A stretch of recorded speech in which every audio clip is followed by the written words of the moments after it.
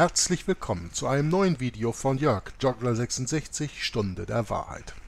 Heute am Samstag, den 12. Mai 2018, mittags wunderbares Wetter draußen, wonach es heute Morgen gar nicht aussah. Fast strahlend blauer Himmel, die Sonne scheint, Temperaturen sind über 20 Grad.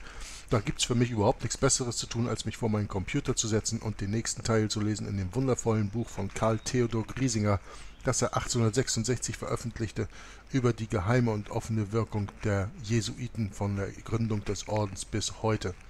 Und dieser 27. Teil beschäftigt sich natürlich immer noch mit den Wirkungen der Jesuiten in Deutschland und in angrenzenden Ländern, wie in dem letzten Teil auch, wo wir ja deutlich gelesen hatten, wie die Jesuiten Spaß dran hatten, die Protestanten zu verjagen und zu töten, vor allen Dingen aus Niederösterreich und Bayern, und dann wollen wir mal sehen, wo uns die Lesung heute hinbringt. Aber bevor ich anfange, möchte ich euch eben noch meinen Bruder Michael vorstellen, der über Skype wieder mit mir verbunden ist heute und sich dazu eingefunden hat, mit mir die Lesung zusammenzumachen.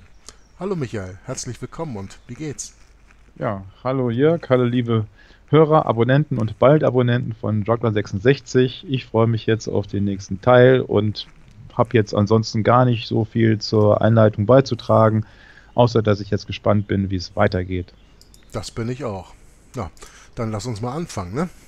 Auf genau. Seite 275 im PDF lesen wir im zweiten Absatz, und ich gehe jetzt nicht irgendwie weiter groß zurück. Äh, wer das gerne möchte, der kann sich ja halt den vorigen Teil bitte schön anschauen. Wir lesen jetzt hier direkt in diesem zweiten Absatz weiter, in dem unser Autor schreibt, Solches musste jedem noch klarer werden, der das Gebaren der frommen Väter in ihrem geliebten Bayern eines eindringlicheren Blickes würdigte. Hier waren dieselben schon unter Albrecht V., wie wir gesehen, zu großer Macht gelangt, und noch mehr geschah dies unter seinem Sohne und Nachfolger Wilhelm V., der von 1579 bis 1596 regierte. Auf dessen Erziehung hatte nämlich der Pater Hoffäus einen so bedeutenden Einfluss gehabt, dass man dem Orden schon deswegen unter dem zukünftigen wilhelmischen Regimente die glänzende Zukunft prophezeien konnte Allein diese Erwartungen wurden dadurch noch bedeutend übertroffen, dass der Erbprinz anno 1568 die überfromme Renata, die Tochter des Herzogs Franz I. von Lothringen, heiratete und deren Beichtvater, den Pater Dominikus Mengin, auch zu dem seinigen machte.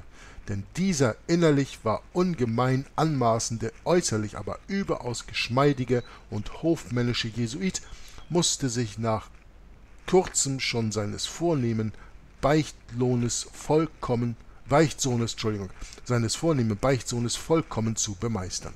Er wusste sich. Ja? Was habe ich ihn gelesen? Er musste sich. Er wusste sich. Das M und das W ist auch teilweise ein bisschen schwierig auseinanderzuhalten. Entschuldigung dafür. Ja, Wilhelm ließ sich, nachdem er an die Regierung gelangt, wie ein Kind von ihm leiten und wetteiferte von da an mit seiner Gemahlin in der tollsten Verschwendung zugunsten des Ordens Jesu, wovon die Prachtbauten in München se selbst das beste Zeugnis geben. Weil aber diese Verschleuderung des Landesvermögens nach und nach ins Ungeheuerliche ging, und weil der Regent zuletzt für nichts mehr Sinn hatte als für jesuitische Angelegenheiten, Insbesondere liebte er es, mit seinem geliebten Beichtvater bei der ärgsten Sonnenhitze in der ärmlichsten Pilgrimskleidung zu Fuße nach Duntenhausen oder auch nach Altötting zur Schwarzen Maria zu wallfahrten und dort bedeutende Opfer zu bringen. So entstand endlich eine allgemeine Unzufriedenheit unter dem Volke, und der Herzog sah sich infolgedessen genötigt, anno 1596 zugunsten seines Sohnes Maximilians abzudanken und hier lesen wir in einer Fußnote, dass Wilhelm V. zog sich nach seiner Abdankung in das Kollegium der Jesuiten zu München zurück, um von nun an ganz der, an, äh, ganz der Andacht zu leben und starb daselbst als eine Art Heiliger erst anno 1826 mit Hinterlassung einiger Gebetbücher-Manuskripte. da kann man mal sehen, was davon kommt, wenn man von Anfang an jesuitisch erzogen wird. Die Seele ist total verloren und dem Teufel zugewandt. Nunmehr meinten die Bayern, also nachdem der Maximilian übernommen hatte, werde das goldene Zeitalter für sie beginnen. Denn man wusste aus vielen Äußerungen des jungen Regenten, dass sein eifrigstes Bestreben sein werde, sein Land zur höchsten Blüte zu bringen. Allein, man hat die Rechnung ohne die Jesuiten gemacht. Oder, wie wir bekannterweise heute sagen, man hat die Rechnung ohne den Wirt gemacht. Maximilian I., Herzog von Bayern von 1596 bis 1651, eine verdammt lange Zeit, war, wie wir wissen, mit Erzherzog Ferdinand in Ingolstadt von den Vätern der Gesellschaft Jesu erzogen worden und hatte ganz dieselben Grundsätze eingezogen, welche jene erfüllten. Man kann sich also wohl denken, dass der Einfluss der Jesuiten mit seinem Regierungsantritt kein geringerer wurde, als er unter seinem Vater gewesen. Nur äußerte er sich auf eine andere Weise, weil Maximilian ein Mann aus ganz, and äh, ganz anderen Schlags war und sich eines energischen Geistes sowie einer nicht geringen Bildung rühmen konnte. Wie und worin aber äußerte sich nun der jesuitische Einfluss? In nichts Geringerem als darin, dass ihm die Überzeugung dass ihm die Überzeugung beibrachten, Gott, dass sie ihm, Entschuldigung, in nichts Geringerem als darin, dass sie ihm die Überzeugung beibrachten, Gott habe ihn zum Rüstzeug ausersehen, um ganz Deutschland zur Glaubenseinheit zurückzuführen und dem verhassten Ketzertum ein für allemal ein Ende zu machen. In Bayern selbst gab es für den glaubenseifrigen Fürsten in dieser Beziehung nichts zu tun, denn das ganze Land war, dank der Fürsorge seiner Vorfahren, gut katholisch geblieben, und es erwachte daher in seiner ehrfürchtigen Brust ein großer Neid auf seinen Jugendfreund und Schwager Ferdinand von Innerösterreich, dessen Heldentaten auf kirchlichem Gebiete damals die ganze katholische Zeit, äh, die ganze katholische Welt äh, zelebrierten, äh, elektrisierten, okay, elektrisierten. Ja, jetzt haben wir hier zwei Fußnoten. Die eine ist auf der, am Ende der, der Seite davor, wo es über den glaubenseifrigen Fürsten geht. Und da lesen wir in der Fußnote, um dem Leser einen Begriff von dieser Glaubenseifrigkeit zu geben, will ich nur das Kuriosum anführen, dass, der, dass er der erste katholische Regent war, welcher seinem Erstgeborenen in der Taufe den weiblichen Namen der Maria und zugleich den Namen des Jesuitengenerals Ignatius beilegen ließ auch ließ er zuerst Münzen schlagen mit dem Bilde der Maria sowie der Unterschrift Patrona Bavaria, also die Beschützerin des Bayernlandes.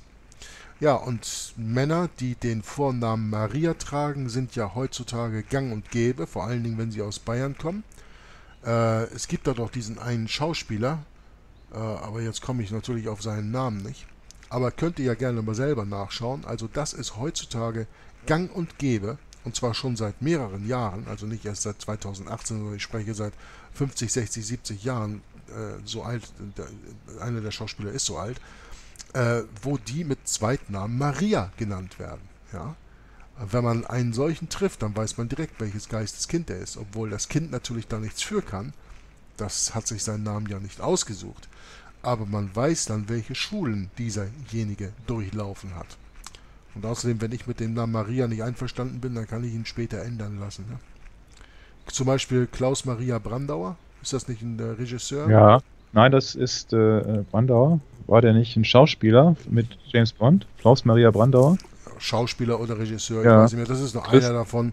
Ja, Christoph Maria Herbst gibt es da noch. Ja, auch, genau. Günther, Günther Maria Halmer. Ich gibt da schon so einige, ne? Ja, mhm. es gibt da schon so einige, ja. Also das ist wirklich eine äh, eine Seuche, die sich da verbreitet hat, nach dem Motto, die Männer mit, der, mit dem Frauennamen Maria zu benennen. Mhm. Und auf der nächsten Seite haben wir eine Fußnote, nachdem wir hier über den Schwager von Innerösterreich lesen, da hatten wir ja in der letzten Sendung drüber gesprochen. Und da steht in der Fußnote, Erzherzog Ferdinand hatte sich am 23. April 1600 mit Maximilians Schwester Maria Anna verheiratet. Also, diese ganzen Heiraten, die da untereinander passieren, das ist ja auch eine Sache, das sollte man vielleicht mal erwähnen, ähm, das ist ja auch, ähm, will ich mal sagen, in dem Versuch, um eben unter dieser einen Blutlinie, um es mal so zu nennen, die Kontrolle von ganz Europa zu kriegen. Wenn ich die verschiedenen Königshäuser, Fürstenhäuser, Grafenhäuser und was es nicht alles gibt, untereinander verheirate, dann ist nachher im Grunde ja die Regentschaft der ganzen Region in der Hand einer einzigen Blutlinie, einer einzigen Familie. Das haben sie immer und immer und immer wieder versucht in Europa. Und trotzdem gab es weiterhin Zwiespalt. Tja, der Zwiespalt kam natürlich meistens von den Jesuiten, davon mal abgesehen. Aber auf die Art und Weise haben sie es im Grunde geschafft, dass ganz Europa mehr oder weniger von ein und derselben Familie regiert wurde, durch die Jahrhunderte hin. Und ähm, das ist etwas, was wir heute auch noch haben. Ich meine, die Leute sind ja so bescheuert in Deutschland. Da gab es doch nach der Wiedervereinigung diesen de Maizière, den sie da zum Minister gemacht haben, aus dem Ostdeutschland, ne? Dem sein ja. Sohn Thomas de Maizière ist jetzt auch Minister in Deutschland. Mhm. In Amerika hatten wir George W. Äh, George H. W. Bush, Präsident zwischen 1991 und äh, zwischen äh, 19 äh, ja, äh, ja genau George bis 1991, also der Vater von George W. Bush, der, dem sein Sohn dann halt Präsident wurde in 2000. Ne? Ja. Sein Vater ja. war Präsident nach Reagan und er mhm. war Vizepräsident unter Reagan und wir wissen, dass ja. die Vizepräsidenten die meiste Macht halten, ja. Ja. Also dieses Familiengeklüngel, das gibt's heute noch überall. Denkt mal jetzt zum Beispiel an Korea. Wer ist denn da der Nachfolger von dem, äh, von dem, das ist doch auch der Sohn Kim Jong-il, der übrigens in der Schweiz auf einem äh, auf einem jesuitischen Jungenkloster erzogen wurde. Ja? Davon mal ganz abgesehen. Ne? Also wer denkt, dass da in Korea irgendwie irgendwas ist, da dass die äh, sich, äh, will ich jetzt mal sagen, dass die aus der Reihe tanzen oder so? nee, die sind alle kontrolliert von A bis Z. Und Ganz dieses, viel Theater. Ja, und dieses Familiengeklüngel, das kann man also weltweit beobachten. Das ist überall dasselbe. Und die Leute sind sowas von bekloppt, ich wette, wenn morgen in Deutschland der Sohn der Merkel antreten würde, wenn die einen hat, dann würden sie den wählen. Ja, ja es gibt ja auch ganz viele äh, Genealogie-Stammbäume, die da nachweisen, dass die amerikanischen Präsidenten dann immer auch mit europäischen Königshäusern noch verwandt sind und dass da also auch eine ganze Menge Übereinstimmung ist. Äh, das scheint wohl so zu sein, dass man eigentlich als angeblicher Demokrat dann doch keine Wahl hat außer zwischen den einzelnen Mitgliedern der einzelnen bekannten Familien auszuwählen. Das ist richtig, ja. Das, da gibt es überhaupt nicht viele Möglichkeiten. Ob das jetzt. Ich meine, George W. Bush hat es ja selbst gesagt, dass das Regieren in den Vereinigten Staaten viel leichter wäre, wenn es keine Demokratie, sondern eine, äh, eine äh, Diktatur wäre, solange wie er der Diktator wäre. Hat er selbst gesagt. Mhm. Ist in einem der Videos, die ich jetzt letztens hochgeladen habe von äh, Brett Norman. Da gab es ja diese zwei Videos, die ich auf meinem Englisch, auf meinem Kanal hochgeladen habe, auf meinem Erstkanal. Ähm, müsst ihr euch mal anschauen da. Also in der Zeit vom äh, im April 2018 wurde das hochgeladen, müsst ihr da mal schauen. Und äh, da kommen viele äh, Dinge von George W. Bush drin vor und da kommt unter anderem das vor, dass er sagt von ja, es wäre viel leichter, wenn es eine Diktatur wäre statt eine Demokratie, solange ich der Diktator bin. Damit natürlich verschleiernd, dass diese Demokratie, wie wir sie nennen in den Vereinigten Staaten von Amerika, sowieso keine Demokratie ist, sondern eine Diktatur. Und das ja. spätestens seit Roosevelt 1933, seitdem die Amerikaner unter Kriegsrecht stehen. Wenn man das ein bisschen verfolgen müsste, dann äh, will, wollte, dann müsste man viel von den ähm, Informationen nehmen, die Eric John Phelps in seinem Buch geschrieben hat, Vatican Assassins Wounded in the House of My Friends. Mhm. Aber ich will jetzt auch nicht zu weit abweichen, aber es ist ja da deutlich, man, ja. Da kann man Sendungen, da kann man, da kann man eine, eine zehnteilige Serie, Serie definitiv drüber machen, wenn man sieht, äh, wer alles mit wem und im Endeffekt sind das dann tatsächlich alles die Puppets on a String und nicht eben irgendwelche Volksrepräsentanten. Ich kann nicht gleichzeitig zur Elite gehören und gleichzeitig Volksrepräsentant sein, währenddessen ich die Interessen anderer äh, Lobbyisten oder entsprechender Banken vertrete. Das äh, sehe ich eigentlich bei jedem Politiker, dass da äh, Verbindungen sind, deswegen halte ich dieses ganze System für nicht nur fragwürdig, sondern halt einfach ein völliges Schauspiel. Und da kann man eigentlich dann nur sagen, dass äh, schon im Mittelalter einfach versucht wurde, ähm, den Leuten da etwas vorzugaukeln, eine Illusion zu schaffen und im Endeffekt dann doch die Fäden grundsätzlich immer in der Hand zu behalten. Ne? Das hast du ja eigentlich echt in jedem Land. Ja, also im Großen und Ganzen lässt sich das mit einem Satz kurz zusammenfassen. Politik ist Teufelswerk. Deswegen ist Politik auch in der Bibel überhaupt nicht erwähnt, weil es nämlich absolut Werke des Teufels sind. Und ja, ich, ja?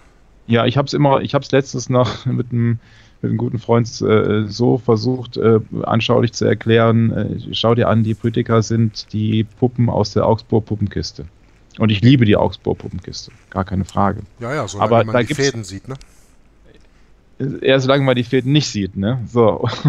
ja, das, ähm, und die Leute, aber die Puppenspieler, ja, die, die liegen da eine Ebene drüber. Das sind meiner Meinung zum Beispiel jetzt vergleichen, jetzt zu den Politikern im Vergleich, die Medien beispielsweise, ja, so, die dann ja, die ganzen Sachen steuern, wie man jetzt halt die entsprechende Puppe jetzt wahrnimmt, der Trump wird ja aus gutem Grunde in Deutschland beispielsweise immer mit offenem Mund dargestellt, um halt ein bisschen debil darzustellen. Aber ich will jetzt gar nicht so tief ins Thema rein. Aber es gibt ja noch in diesem Spiel für der Augsburg eben nicht nur die Puppe und den Spieler, sondern auch noch den Produzenten, den Regisseur, den Beleuchter etc. Also die ganzen Leute, die wir niemals zu Gesicht bekommen. Ja, und auch die Leute, die das Ganze finanzieren und auch nachher auch diejenigen, die die ideologische Ausrichtung dafür dann haben, nach dem Motto, was wollen wir denn mit dem Inhalt jetzt jemandem vermitteln? Und äh, das ist halt einfach eine Sache, die ich für mich herausgefunden habe, dass ich die so am plastischsten erklären kann mit der Augsburg Puppenkiste. Ja, oder mit dem Bild, was ich oftmals einpla äh, einbaue in meine Videos, der Vatikan, der an den Strippen einer Hand hängt, ja, die eben spielt. Pate. Der Vatikan, der eben der Puppenzieher ist. Und das äh, haben wir ja nicht nur gelernt mit dieser Lesung hier, wo wir jetzt sehen, wie die Jesuiten sich immer in die höchsten Regionen einarbeiten, durch dass sie die Beichtväter werden und solche, Leu äh, und solche Dinge. Ähm, weil es ist immer eine Regierung von oben herab nach unten und uns wird verkauft, dass Demokratie eine Regierungsform von unten nach oben ist. Ne? Also aus dem Volk und eine Regierung für das Volk und das Volk regiert, ja, überhaupt nicht wahr. Also Demokratie ist äh, eine typische Erfindung der Jesuiten. Jetzt schreien wahrscheinlich viele und sagen von, ja, das kommt ja aus Griechenland. Ja, okay. Äh, Griechenland ist ja nun bekannt dafür, dass es das Land der Philosophen ist. Mhm. Aristoteles, Plato, Sokrates, um mal einige zu nennen. Und die römisch-katholische Kirche baut sich auf den, Le auf den Lehren Griechenlands auf, wie zum Beispiel Thomas von Aquin, der mit seiner Summa Theologica ähm, ja ein monumentales Werk errichtet hat. Deswegen ist er ja auch Doktor der römisch-katholischen Kirche das 100% sich auf der griechischen Philosophie aufbaut. Ne? Und das ist halt die Philosophie der römisch-katholischen Kirche. Und die römisch-katholische Kirche regiert alles, weil sie sagt, die spirituelle, also die geistige Macht steht über der weltlichen Macht. So, sie ist die geistliche Macht und deswegen steht sie über der ganzen weltlichen und alles Weltliche muss sich ihr unterordnen. Und dann spielt es im Grunde gar keine Rolle, wen man da auf den Thron setzt, nur geschichtlich gesehen sind die ganzen Adligen, die wir heute hier haben, äh, da müsst ihr mal auch in der Geschichte zurückgehen. Es gibt keine Adligen aus dem alten römischen Reich, also aus dem alten heidnischen römischen Reich, die heute noch irgendwo vertreten sind. Die ganzen Adligen, die wir heute haben, sind alle nur zurückzuführen, diese ganzen Adelstitel sind nur zurückzuführen auf Leute, die sich in Kriegen für die römisch-katholische Kirche bewährt haben und die für die römisch-katholische Kirche eingetreten sind und als Dank dafür Land und Titel geschenkt bekommen haben. Sei es Fürst oder Kurfürst, äh, Kurfürst, sei es Graf oder Baron oder sei es König. Ja? Das waren Leute, die für die römisch-katholische Kirche gekämpft hatten und als Dank dafür Ländereien und Titel geschenkt bekommen haben. Und deren zwischen Anführungszeichen Blutlinie ist das, was wir heute die Adligen nennen. In Deutschland, in Dänemark, in Belgien, in Norwegen, überall in diesen ganzen hauptsächlich noch königsgeführten Ländern, die wir haben. Ja? Wir haben ja in Deutschland drei Länder, die uns umgeben, die alle Königreiche sind. Dänemark, Niederlande und Belgien. Und in Europa haben wir ja noch mehr. Ja? Wenn wir dann nochmal Spanien mit zurechnen und äh, England mit zurechnen und so weiter und so weiter. Und all diese Königshäuser sind alle nur entstanden aufgrund ihrer militärischen Leistung, die sie für die römisch-katholische Kirche geliefert haben.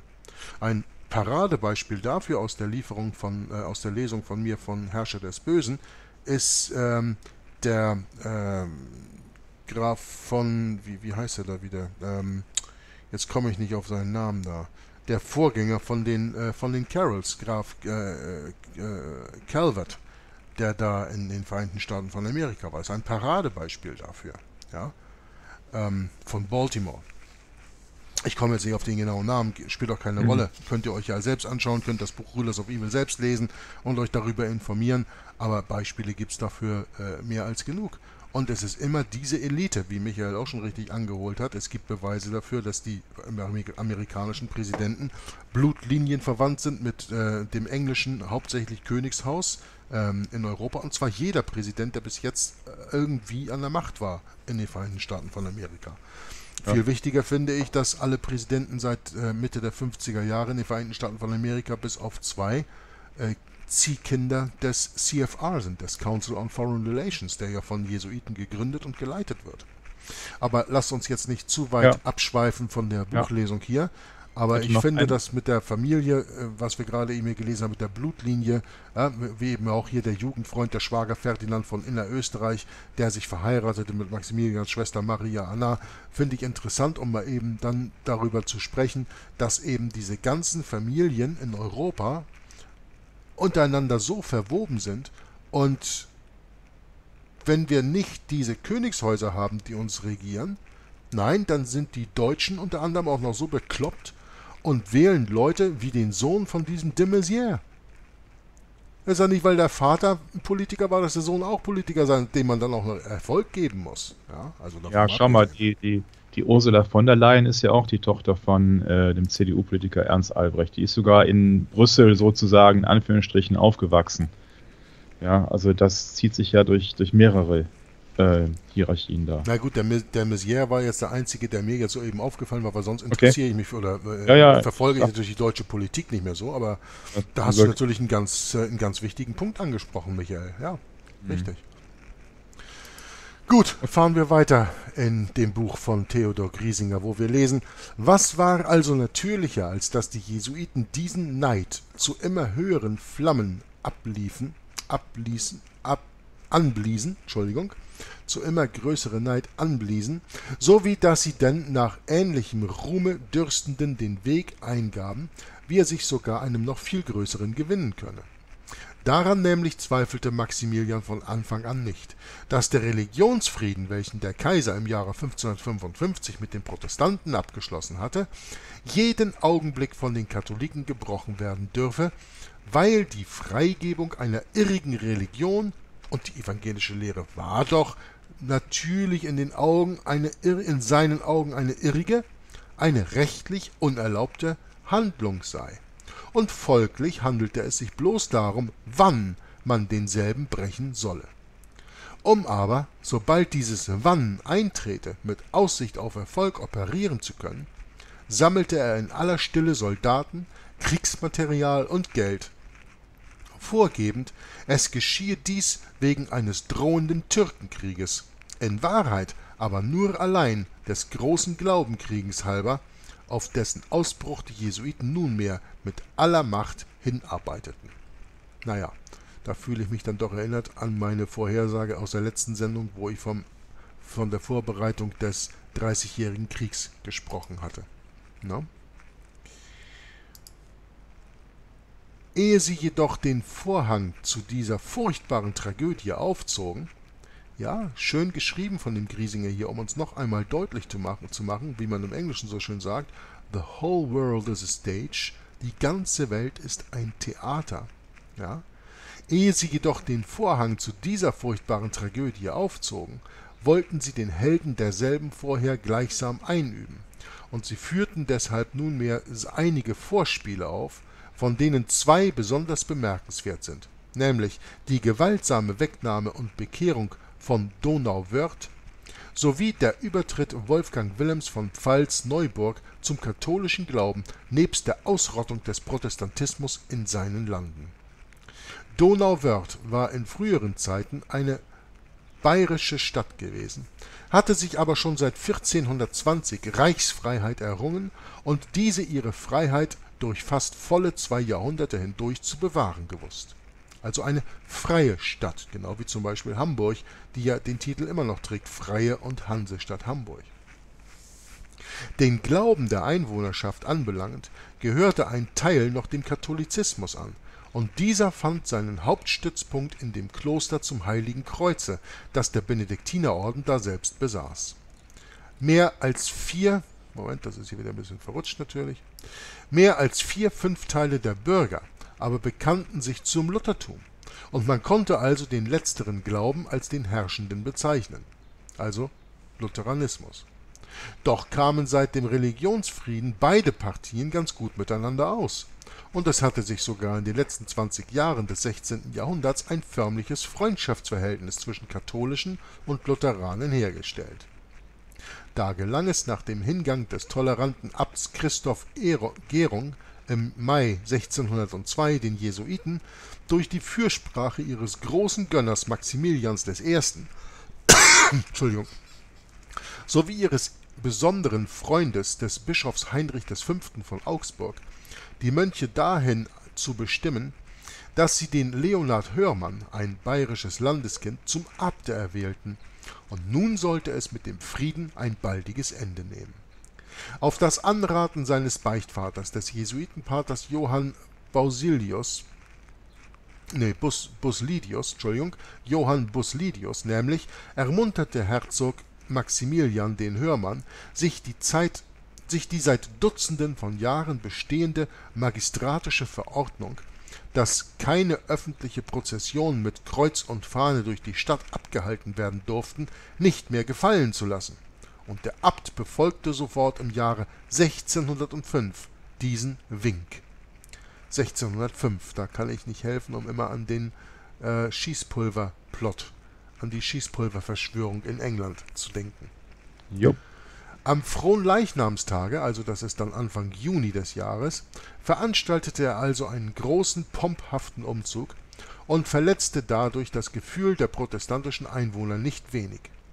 Es kam übrigens zu keinerlei Ruhestörung dabei und die einzige Folge war, dass der Magistrat sich Ähnliches für die Zukunft verbat. Letzteres aber nahm der Abt sowie der genannte Bischof von Augsburg, in dessen Sprengel das Kloster gehörte, mit großem Missfallen auf, und beide beklagten sich beim kaiserischen Reichshofrate über den Druck, unter dem die Katholiken Donauwörths zu, zwischen Anführungszeichen sage ich jetzt mal, zu leiden hätten. Der Reichshofrat, sonst nicht eben die expediteste Stelle, was heißt das denn, expediteste Stelle, also die am meisten geeignetste Stelle, würde ich vielleicht ja jetzt irgendwie sagen, gab nun bereits im Oktober 1605 die Entscheidung, dass derlei Umzüge stattfinden dürften und machte den Magistrat für alle etwaige Exzesse verantwortlich. Der Magistrat aber blieb dabei, dass es besser wäre, den gemeinen Mann nicht absichtlich zu reizen, und forderte den Abt zum Friedenhalten auf dessen ungeachtet veranstaltete Hörmann am 11. April 1606 einen noch prunkhafteren Umzug nach den benachbarten Dörfchen und machte dieses sein Vorhaben der ganzen Einwohnerschaft den Tag zuvor von der Kanzel herab auf eine recht höhnische Weise kund Somit konnte es nicht ausbleiben, dass der rohere Teil unter den Evangelischen sich zusammenrottete und die Prozession nicht nur mit einem Steinhagel begrüßte, sondern auch eine Fahne in Stücke zerriss.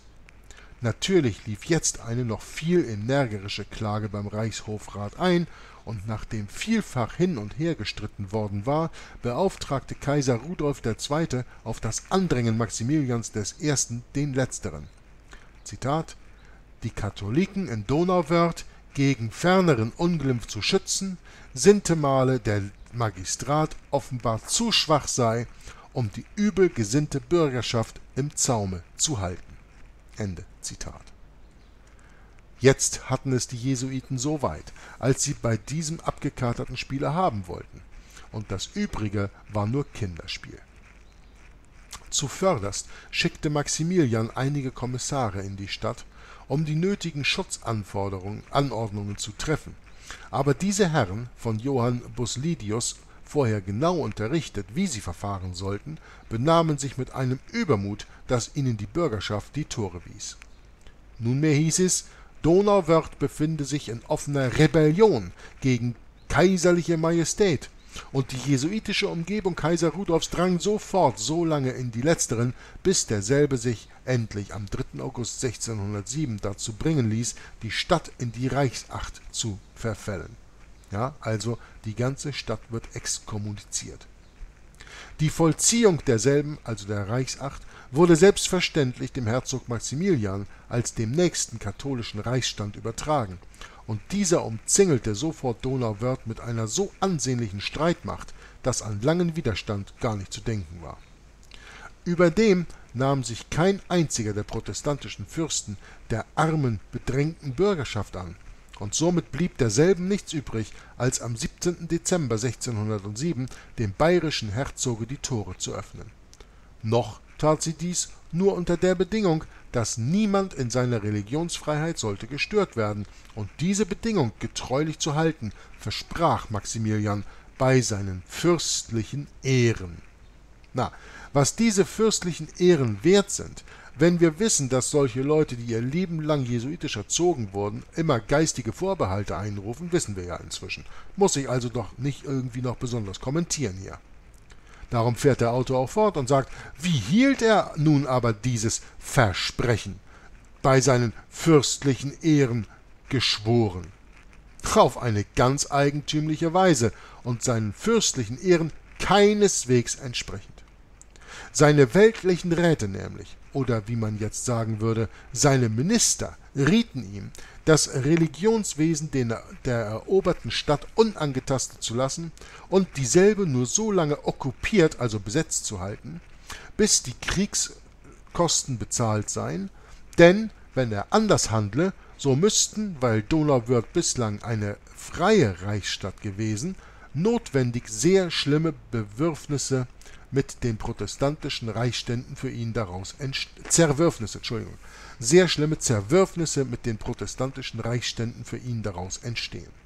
Seine geistlichen Ratgeber aber, nämlich der bekannte Beichtvater Johann Buslidius, nebst den frommen Vätern Matthias Mittner und Georg Schrettel, die er nebst noch einigen weiteren Jesuiten mit nach Donauwörth genommen hatte, verlangten von ihm, dass er sofort dem Ketzertum in Donauwörth mit Gewalt ein Ende mache und die Stadt, um den Katholizismus bleibend darin erhalten zu können, seinen Erblanden ohne weiteres einverleibe.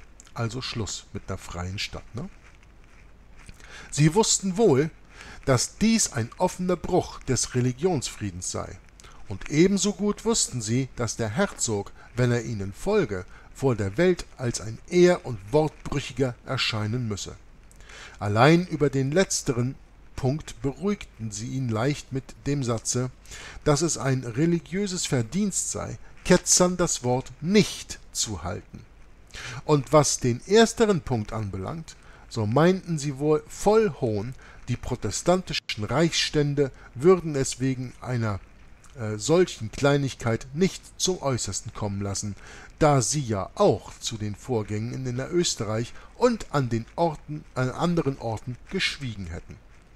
Sollten sie sich aber in der Tat zu kräftigeren Schritten entschließen, dann sei ja der eigentliche Zweck, die Eröffnung des großen Glaubenskampfes, erreicht, und in diesen müssten sicher die Katholiken die Oberhand behalten, weil Maximilian gerüstet dastehe und die protestantische Partei nicht. Also ich muss, ich, ich kann hier eben nicht umhin, mal einen ganz kurzen Kommentar über das Buch abzugeben, wie der Autor das schafft, solche ellenlangen Sätze doch auf so eine spannende und verständliche Art und Weise zu formulieren, dafür ziehe ich meinen Hut. Muss ich mal ganz ehrlich sagen. Das macht dieses Buch richtig lesenswert. Auf die Art und Weise macht es richtig Spaß, dieses Buch zu studieren. Solchen Argumentationen, fährt der Autor fort, konnte Maximilian nicht widerstehen, und demgemäß traf er sofort alle zur Unterdrückung des Protestantismus nötigen Anordnungen. Insbesondere jagte er alle lutherischen Geistlichen zu den Toren hinaus und überwies die sämtlichen Kirchen den Söhnen Loyolas. Ebenso verfuhr er auch mit den evangelischen Lehrern, welche ohne Ausnahme durch katholische ersetzt wurden. Die Bürger aber hielt man mit Gewalt an, ihre Kinder wie bisher zur Schule zu senden, und nicht minder waren sie genötigt, in die Messe zu gehen, wenn sie nicht auf alle Weise äh, wenn sie nicht auf alle Weise gehubelt und gepudelt werden wollten. Also geteert und gefedert, könnte man wohl heute sagen. Kurz, es wurde kein Mittel, auch das schlechteste nicht, gescheut, um die Bürger zur Annahme des alten Glaubens zu bewegen. Ja, natürlich nicht, weil der Zweck heiligt die Mittel. Also wurde kein Mittel, auch das schlechteste nicht gescheut, um die Bürger zur Annahme des alten katholischen Glaubens zu bewegen, und da Maximilian zugleich den anderen Rat der Jesuiten Donauwörth in eine jesuitische Landstadt umzuwandeln, mit Bewilligung des jesuitisch bigotten Kaisers Rudolf II. ebenfalls durchführte, so gelang das Bekehrungswerk in wenigen Jahren ganz vollkommen. Und die protestantischen Stände. Tja, nun, diese waren eben damals zusammengekommen mit den Katholischen zwischen 1607 und 1608 auf einem Reichstag in Regensburg versammelt, und sie sahen recht wohl ein, was dieses Gewaltsverfahren eigentlich zu bedeuten habe.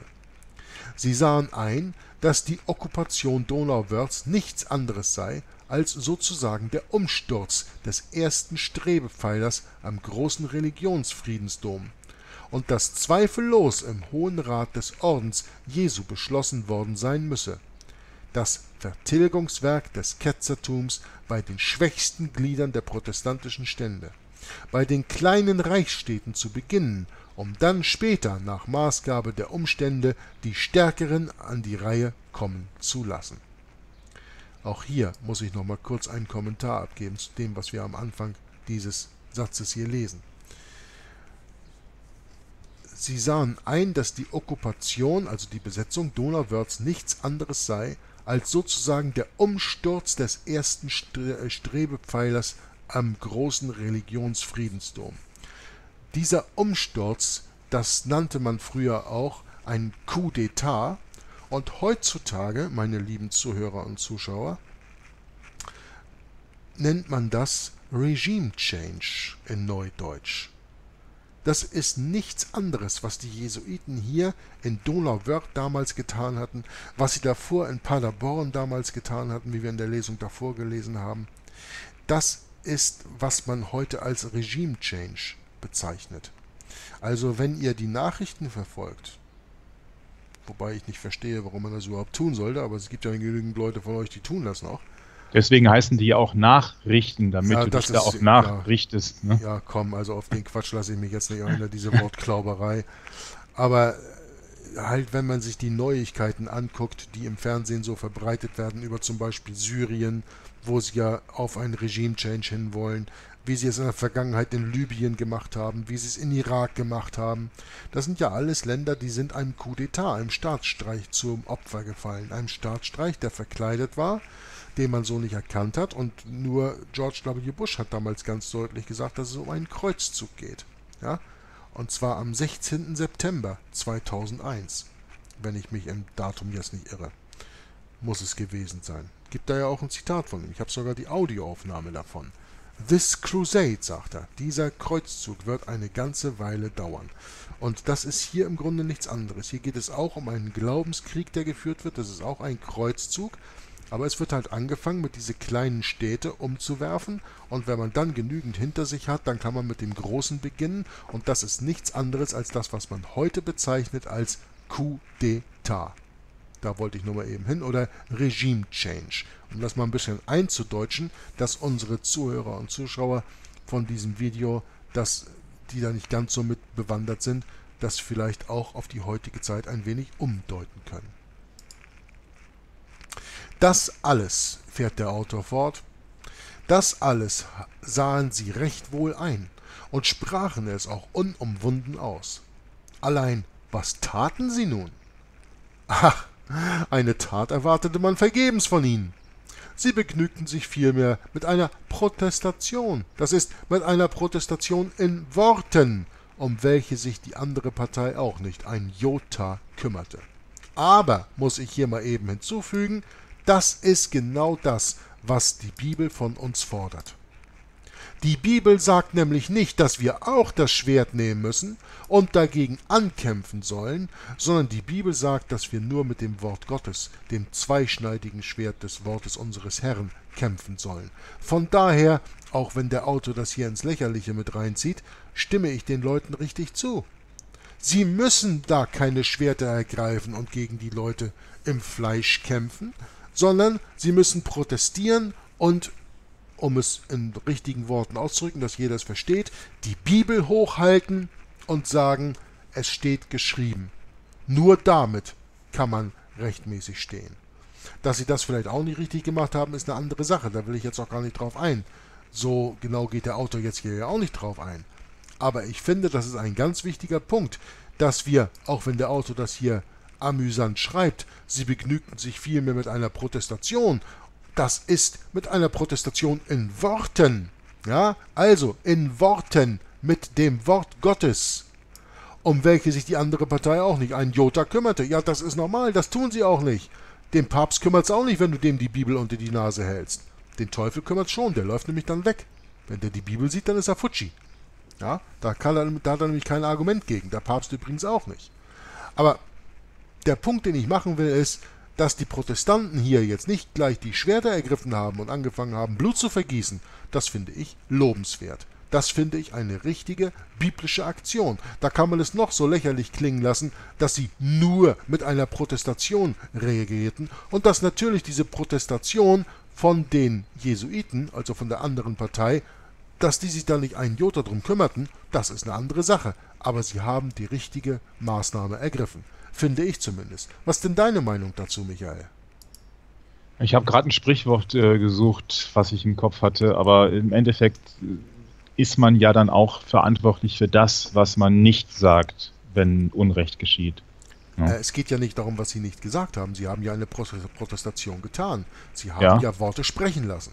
Ja, ja deswegen sage ich ja, also im Endeffekt hätte man sich ja dann falsch verhalten, wenn man da nichts zu gesagt hätte. Das meine ich damit. Nein, nein, Sie haben ja etwas gesagt. Sie haben halt nur nicht das Schwert ergriffen und kein Blut fließen lassen. Das ist ja der Punkt, den ich die ganze Zeit mache. Ja. Sie haben ja richtig reagiert mit Ihrer Protestation. Ja, natürlich. Deswegen sage ich ja. Deswegen, ich drücke es jetzt falsch rum aus. Ich habe ja gesagt, auch, wenn man, ja. wenn man nichts, wenn man nichts gesagt hätte, hätte man sich falsch verhalten. Ja, natürlich. Ja? Und deswegen war ja gut, dass man da Partei ergriffen hat dass man halt da halt einfach sich verteidigt hat. Aber natürlich sind die einfachen Leute dann gegenüber solchen Übermachten, die ja dann auch äh, durch große finanzielle Mittel die ganzen Heere da immer zusammenstellen, natürlich dann auch irgendwo in ihren Mitteln beschränkt. Ne? Mhm. Gut, dann lesen wir, dann lesen wir mal weiter. Doch entstand ein Gutes daraus, nämlich im Mai 1608 die Gründung der Protestantischen Union, welche um, Luther, welche um Lutheraner und Calvinisten, die bisherigen geschworenen Todfeinde, das Band der Brüderlichkeit schlingen sollte. Nur hatte diese Union leider zu kurzen Bestand, um eine wirklich nachhaltige Wirkung zu haben. Und überdies rief nun im, äh, rief nun im Juli 1609 Maximilian I. die Katholische Liga ins Leben, deren Stärke der Union jedenfalls das, äh, jedenfalls das Gleichgewicht hielt. Also auch hier muss ich nochmal einen kurzen Kommentar abgeben, bevor ich weiterlese, dass sich jetzt hier endlich mal die Lutheraner und die Calvinisten zusammengerauft haben und sich auf das wirklich berufen, was sie immer als Credo ausschreien, die Schrift und die Schrift alleine. Und mit der Schrift und der Schrift alleine ziehen wir gemeinsam gegen den gegen nicht nur unseren gemeinsamen Feind, sondern vor allen Dingen gegen den Feind Jesu Christi zu Werke. Das finde ich eine sehr gute Sache. Dass das nicht lange gehalten hat, weiß ich nicht weswegen, aber es ist ja leider immer so, dass eben die verschiedenen Bibelauslegungen oftmals der Vernunft Überhand gewinnen. Leider und dass solche Bündnisse dann eben nicht von allzu langer Dauer sind. Aber nichtsdestotrotz finde ich die Verbindung, die die ähm, Lutheraner hier mit den Calvinisten eingegangen sind, um einen Bund zu schließen gegen den gemeinsamen Feind, nämlich die Jesuiten und die römisch-katholische Kirche, sehr lobenswert. Die katholische Liga, die hier ins Leben gerufen wurde, da gibt es auch ein anderes interessantes Buch, in dem man solche Dinge mal nachlesen kann. Ähm, das habe ich mir hier auch mal besorgt. Welches ist denn das? Ach nee, das ist hier von äh, Franz von Papen. Das meinte ich jetzt gar nicht. Das ist ein anderes Buch. Das habe ich jetzt hier nicht auf meinem Schreibtisch liegen. Aber das ist auch in Englisch. Stimmt, das ist in Englisch. Das kann ich euch ja gar nicht vorlesen. Ähm, das äh, behandelt die Zeit zwischen 1866 und der Gründung des Reiches. Äh, da wird auch von diesen äh, katholischen Ligas und diesen Vereinen gesprochen, die sie damals gegründet hatten. Aber das ist ein anderes Thema. Also, ähm, die Lutheraner und die Calvinisten hatten sich zusammengerauft gegen den gemeinsamen Feind, aber die erste katholische Liga, die ins Leben gerufen wurde, die war in der Stärke ähm, so, dass sie der Union das Gleichgewicht hielt.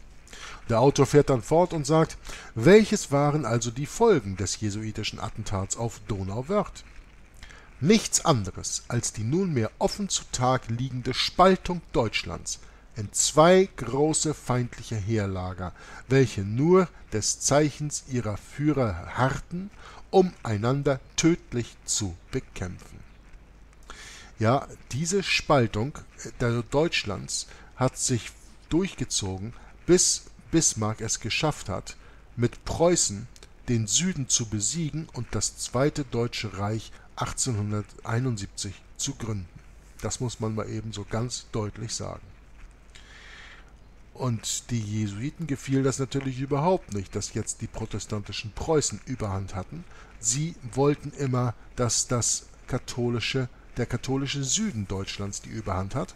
Und das kommt ja sehr deutlich zutage, wenn ihr meine Lesung die verborgene Geschichte der Jesuiten verfolgt habt. Ähm, du sagtest gerade, der hat Kaiser Wilhelm hat dann die Protestanten ähm, ja, äh, vereinigt. Er hat ja dann auch die Jesuiten verboten, glaube ich, oder? Da war doch auch ein, ein Zeitpunkt. Ich habe von, hab von, Kaiser Wilhelm überhaupt nicht gesprochen. Ich habe von Bismarck gesprochen. Bismarck hatte mit dem Norddeutschen Bund einen Krieg ja. geführt gegen den Süddeutschen Bund und hat gewonnen. Ah, okay, gut. Äh, bei Königseck oder sowas mhm. war die entscheidende Schlacht dazu. Mhm. Und damals hatte also dann die ähm, äh, die protestantische preußische Macht über die süddeutsche katholische Macht gewonnen. Und dadurch hat er dann halt, äh, durch diese beiden Bünde zerschlagen zu haben, im Grunde hat er das Deutsche Reich gegründet. Das Deutsche Reich von 1871. Ja? Und das war den Jesuiten natürlich deswegen ein Dorn im Auge, weil die Protestanten die Übermacht hatten und sie wollten immer, dass die Katholiken die Übermacht hatten.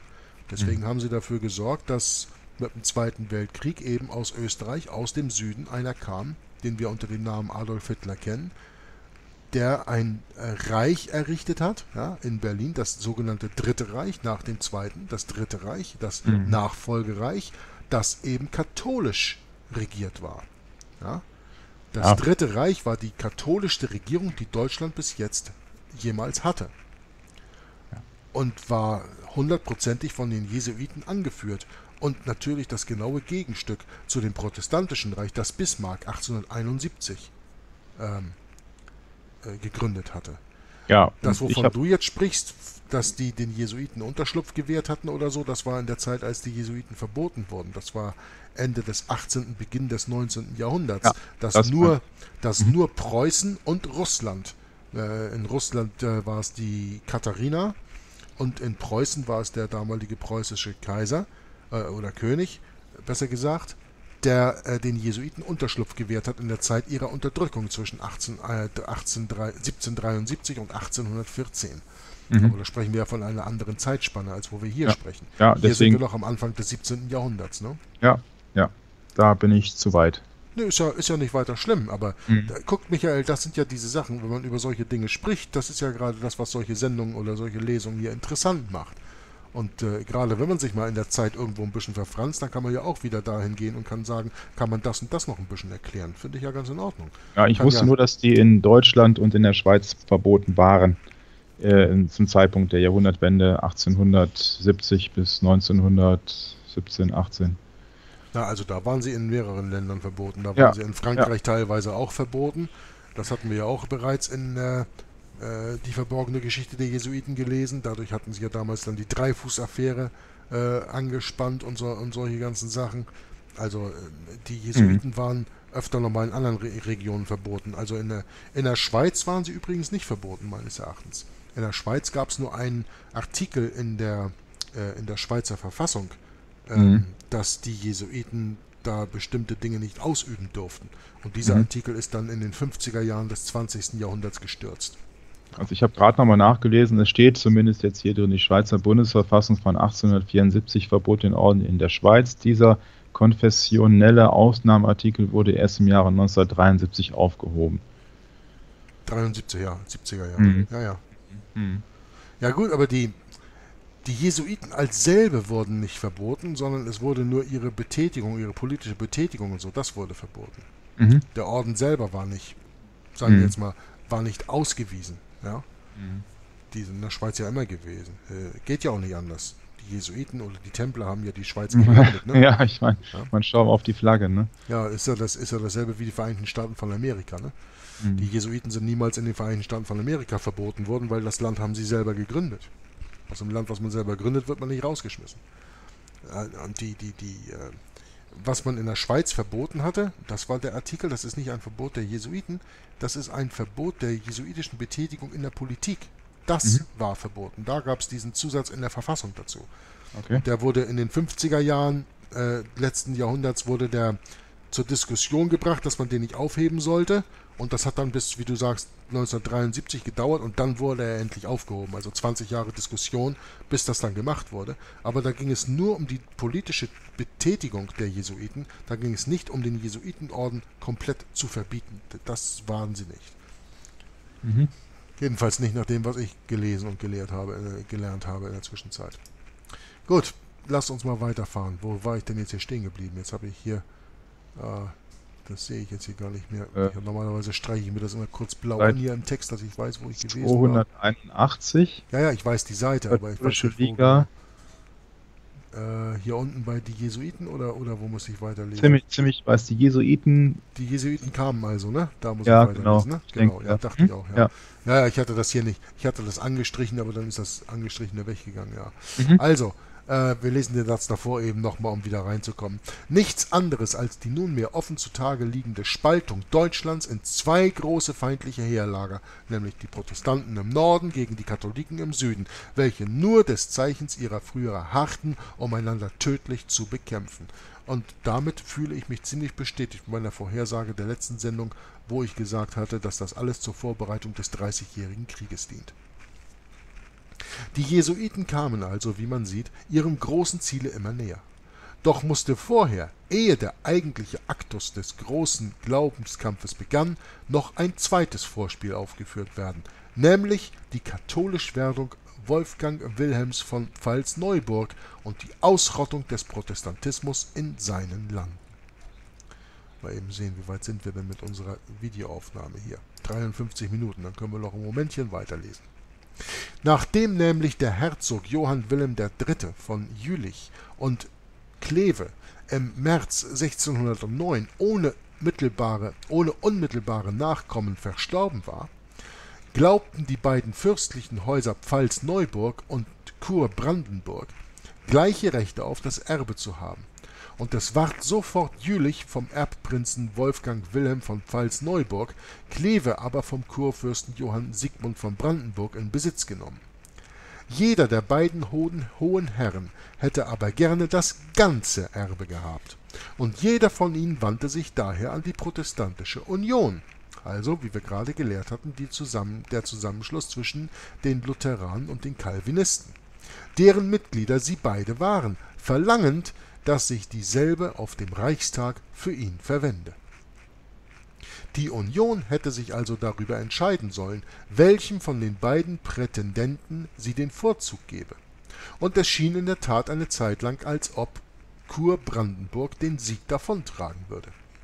Doch schien es nur so, doch schien dies nur so, denn die Mitglieder der Union waren viel zu uneinig und energielos, um sich irgend definitiv zu entscheiden, und Kurbrandenburg wie Pfalz-Neuburg ward daher von einem Termin zum anderen hinausgeschoben da wurde dem Wolfgang Wilhelm auf Anraten der Jesuiten durch den Gesandten Philipps III., Königs von Spanien, angedeutet, dass es ein ganz probates Mittel gäbe, sich der ganzen Erbschaft zu versichern, nämlich wenn Wolfgang Wilhelm durch Verschwägerung mit dem bayerischen Hause die mächtige Fürsprache des Herzogs Maximilians I.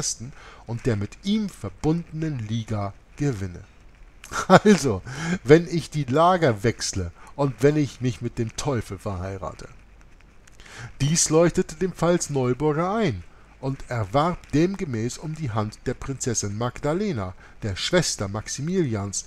Dieser aber sagte zwar nicht Nein, erklärte dagegen aufs bestimmteste, dass er nun und nimmer, also nie und nimmer wohl, einen Ketzer seinen Schwager nennen werde. Ja, also wir sagen heute nie und nimmer und der Autor schreibt hier nun und nimmer. Das war deutlich gesprochen und konnte überhaupt nicht missverstanden werden. Doch Wolfgang Wilhelm hatte bisher, wie überhaupt seine ganze Familie, unter die, Ortho unter die orthodoxesten aller orthodoxen Lutheraner gehört. Und er rühmte sich, dass er die Bibel des Jahres nicht weniger als zwei Dutzend Male durchlese. Wie schafft er das denn? Wie mochte also von ihm erwartet werden, dass er je seinen Glauben ändern könnte? Allein merkwürdig, es wurden nun doch plötzlich in den Herzen Neuburgers Zweifel rege, ob er bisher den wahren Glauben gehabt habe und wie er sofort zur, Be zur Betreibung seiner Hochzeitsaffäre in München ankam, wusste ihn daselbst der schon so oft genannte Johann Buslidius so vortrefflich zu bearbeiten, dass es am Ende gänzlich bei ihm zum Durchbruch kam. Somit trat er im Juli 1613 heimlich er fürchtete den Zorn seines alten noch lebenden Vaters zur katholischen Religion über und heiratete vier Monate später Herzog Maximilians Schwester.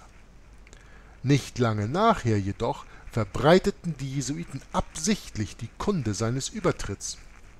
Um ihn zu zwingen, aus der Heimlichkeit hervorzutreten, und solches tat er auch richtig im Mai 1614, nicht achtend darauf, dass diese seine Handlungsweise seinem armen Vater notwendig das Herz brechen müsste, wie auch richtig zwei Monate später geschehen ist. Also, wir lesen hier jetzt wirklich wo wir in 1614 bereits angekommen sind, vom Anlauf zum Dreißigjährigen Krieg. Und ich möchte die Lesung darum hier in diesem Moment mit dem Cliffhanger, wie man so schön sagt. Gibt es eigentlich ein deutsches Wort für Michael für Cliffhanger? Ja, das habe ich mir auch gerade gefragt. Kannst ja mal eben im Übersetzungsprogramm gucken, ob es da eine Übersetzung für gibt. Also ich sage, wir sagen hier in Flämisch ja immer, äh, in Englisch sagt man ja auch immer on, uh, on the top, uh, on the tip of your chair, ja, dass man also an der Spitze seines Stuhls sitzen bleibt, so hin und her wiebeln. Wie geht's jetzt weiter? Wie geht's jetzt weiter? Also mit so einem, äh, mit, mit diesem Augenblick hier möchte ich deswegen die Lesung gerne beenden, weil ich denke, das ist ein schöner, auch wenn ich das englische Wort gebrauchen muss, Cliffhanger Michael wird gleich mal nachgucken, was dafür das deutsche Wort ist, dann gebrauchen wir in der Zukunft das. Aber ich glaube, dass das ein guter Abschluss ist für diese Lesung, die wir heute am Sabbat gemacht haben. Und dass wir wirklich sehen, wie, weil ich kenne das Buch ja auch nicht, ich lese es auch alles hier zum ersten Mal, aber wie wir doch sehen, wie diese ganze Handlung, die wir heute gelesen haben und auch in der letzten Lesung gelesen haben, äh, wirklich auf den 30-jährigen Krieg ganz deutlich die Vorbereitungen zeigt und darauf hinausführen wird. Hast du noch eine Anmerkung zum Schluss zu machen, Michael, für die Lesung heute? Ja, offener Ausgang. offener also offen, Ausgang. Ja. Offener Ausgang wäre jetzt so die Übersetzung. Offener Ausgang, offenes Ende. Genau, also da gibt es jetzt ansonsten keine besondere deutsche Beschreibung für anscheinend. Also verständnismäßig würde ich Cliffhanger niemals mit offener Ausgang übersetzen, weil Cliffhanger ist ja, dass man in der Spannung gehalten wird. Das hat ja nichts mit ja. offenem Ausgang zu tun. Also von daher. Naja, gut, die Übersetzer, ja. manch, manche Dinge kann man eigentlich nicht richtig übersetzen. Das ist genau wie mit dem Deutschen, weißt du, im Englischen sagen sie Kindergarten, da gibt es ja. auch kein echtes gutes englisches Wort für und für das ja. englische Wort Cliffhanger gibt es auch wirklich keine echte gute deutsche Übersetzung, weil offener Ausgang ist ja Quatsch. Finde ich persönlich. Gibt es zum Beispiel eine lustige äh, englische äh, Phrase, die heißt da Nailbiter, also Nagelbeißer. Mhm. Das wäre dann zu Deutsch die Zitterpartie. Also da kann man es ja dann auch nicht so richtig übersetzen. Naja, oder Nägelkauer, ne? Dass man eben aus ja. Nervosität oder was an seinen Fingernägeln ja, ja. kaut, ne? Genau, genau. Ähm, wo ich, wo du diese, also als zum Schluss dieses, äh, dieser Buchbesprechung fiel mir die ganze Zeit so ein Bild ein, ähm, als du da beschrieben hattest, diese Prost Protestaktion gegenüber der Übermacht der ähm, katholischen Union. Äh, ja. Union, genau. Ähm, da fiel mir ein Bild ein, was du sicherlich und viele da draußen auch kennen, und zwar dieses bekannte Bild von dem Tankman. Der ist derjenige, der 1989 auf dem während des Massakers am Platz des himmlischen Friedens ah ja, äh, sich mit zwei Einkaufs ja. Ja, auf, äh, mit zwei Einkaufstüten links und rechts in der Hand vor einem Konvoi von Panzern stellte und den erstmal blockierte. Hm. Und so ungefähr stelle ich mir so diesen zivilen Ungehorsam vor oder diese, diesen Mut vor, den man dann haben muss, um sich halt mit so einer Institution anzulegen. Also ich finde dieses Bild äh, nach wie vor ähm, unheimlich ausdrucksstark. Das finde ich eine schöne Erklärung von dir abgegeben. Ja. Ja, dem stimme ich so zu, ja. Gut, wenn das deine abschließenden Gedanken ja. waren zu der Lesung heute, dann äh, möchte ich mich herzlich bei dir bedanken, Michael, für deine Anwesenheit bei dieser Lesung. Und äh, ich hoffe, dass du auch nächstes Mal wieder dabei sein kannst. Manchmal klappt es, manchmal klappt es nicht, weil ich mache oftmals äh, mehr Lesungen, als dass der Michael Zeit hat, mich dabei zu begleiten. Aber mir gefällt es, die Lesung mit ihm zusammen zu machen und mal gucken. Äh, ich habe ja auch noch andere Dinge, die ich mache. Ich habe mir schon wieder ein paar andere Dinge vorgenommen, also kann ich das auch immer zwischenschieben. Und äh, vielleicht kann Michael dann beim nächsten Mal bei der Lesung dabei sein. Auf jeden Fall wird er heute Nachmittag dabei sein, wenn wir die nächste Lesung in Cold World Babylon in Englisch mit Brett machen, das wir dann auch zu dritt machen werden. Also Michael, von meiner Seite aus herzlichen Dank für deine Begleitung und äh, deine Anwesenheit, auch für deine Kommentare und deinen Input oder Input, deine Eingabe, um es in deutschen ja. Worten zu sagen, für dieses Video. Und äh, meinen Zuschauern und äh, Zuhörern möchte ich danken fürs Zuschauen und Zuhören und eventuell auch fürs Kommentieren. Bis jetzt sind ja die Kommentare auf diesen Videos sehr, sehr, sehr, sehr, sehr, sehr dürftig. Also ich habe wirklich, ich bin wirklich ganz stark im Überlegen, ob ich diese Lesung nicht auf meinem Hauptkanal veröffentlichen soll. Da muss ich das irgendwie, weiß was ich, vier, fünf Videos pro Tag mal hochladen. Einfach nur, dass es da steht, weil es wird auf dem zweiten Kanal wird's überhaupt nicht geschaut. Also wenn ich da nach zwei Monaten 300 Klicks habe auf den Videos, dann finde ich es schade, dass diese doch für Deutsche wichtige Geschichte so wenig Verbreitung findet. Und möchte dafür auch an jeden appellieren, der diese Videos schaut und einen eigenen Videokanal hat. Leute, diese Arbeit ist komplett urheberrechtsfrei. Und wenn ihr einen eigenen YouTube-Kanal habt und wenn ihr auf Facebook oder was weiß ich wo seid und diese Videos verteilen könnt und wieder hochladen könnt, dann tut das. Ladet das wieder hoch auf YouTube, auf TrueTube, auf was weiß ich nicht, welche Medien es noch alle gibt, auf Vimeo und welche anderen Videokanäle es noch gibt. Ich meine, ich bin ja nur eine Person und ich kann nur so viele Leute erreichen. Je mehr das verbreitet wird, diese Kenntnis über die Jesuiten, desto besser ist es, weil die Jesuiten kommen in den letzten Jahren ganz offen aus für ihre Macht, die sie über jeden haben. Und nur wenn man weiß, wer die Jesuiten wirklich sind und ihre Geschichte kennt, und dazu dient die Lesung dieses Buches, dann kann man sie richtig einschätzen und dann kann man die Gefahr, die uns heute ständig und jeden Tag mehr und mehr blüht, auch richtig erkennen. Wer sich ein Christ nennt und die Möglichkeiten hat und dieses Video gut findet und es nicht weiter hochlädt, der macht sich schuldig. Das will ich mal ganz deutlich so sagen. Und ich finde es schade, dass es viele Leute gibt, die sich die Mühe nicht machen. Aber diejenigen, die sich die Mühe machen, die darüber sprechen, die es im Freundeskreis und Familienkreis zusammen schauen und besprechen, denen danke ich dafür, dass sie es verbreiten. Und ich hoffe, es wird viel Verbreitung finden. Nicht nur diese Arbeit, sondern auch viele andere Arbeiten. Nicht nur von mir, auch von anderen Kanälen, solange sie die wahre Wahrheit, die einzige Wahrheit, das Wort Gottes verbreiten. Danke für eure Aufmerksamkeit. Bis zum nächsten Mal. Maranatha.